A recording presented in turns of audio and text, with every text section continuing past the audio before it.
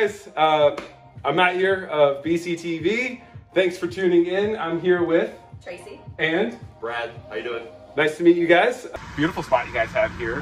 What do you call it? I can see the sign. You guys can't see the sign in the video. I promise we'll take pictures. Huga. Huga. Yes. Um, not to be cu- confused with Hygge or Higgy. There's actually it's Pronounced as Huga.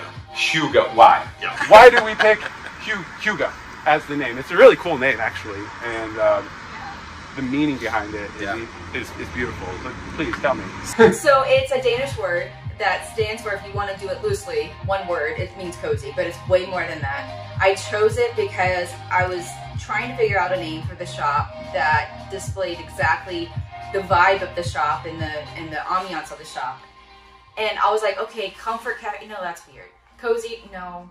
And then I was like, wait, we've been obsessed with Scandinavian culture for over a decade now. We found it and it helped me adapt. I'm from Florida. This is part of the reason why I named it. I'm from Florida originally, moved up to Fort Kent, Maine, and um, it, I had a hard time adjusting to the darkness and isolation. And then I discovered this and the name, and it means like cozy, but it's intentional coziness where you find the good in any situation that you're in.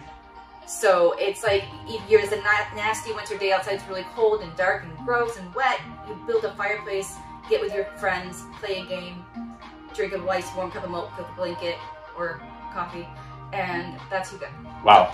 So it's like Yeah. a state of being. Yes. Or like Yes. a- a- it's a, I like the vibe. Yeah. It's a good vibe. Oh yeah, it's it's it's it's a it's a whole culture too. Like Yeah. we, we actually have a book that actually one of our customers gave us. It's like Yeah. a book all on Huga, Very and cool.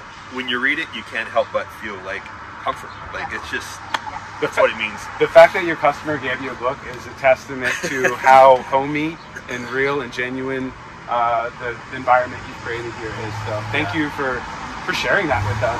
one basic, um, not basic, one um, backstory to the reason why we pick the drinks and recipes and flavors that we pick is to bring you back to those best times and those most comforting times. So, like, apparently, the drink that we will never be able to get off our menu, the banana bread latte, it tastes just like banana So bread, good. and it can bring people back to that time in their grandma's house when grandma made banana bread in January. Take me back. Yeah, so that's the that's the that's the intention behind all the drinks that the specialty drinks we create. Well, I know what I'm ordering before I leave.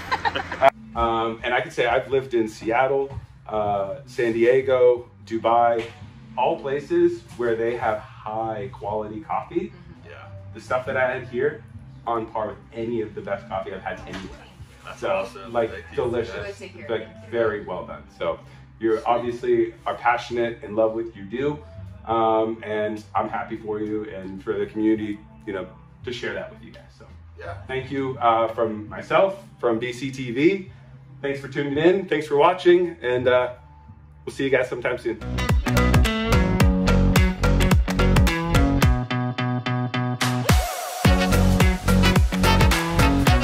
If you'd like to be featured on Street Smarts, give us a call, send us an email, or simply DM us on our social media Instagram, Facebook.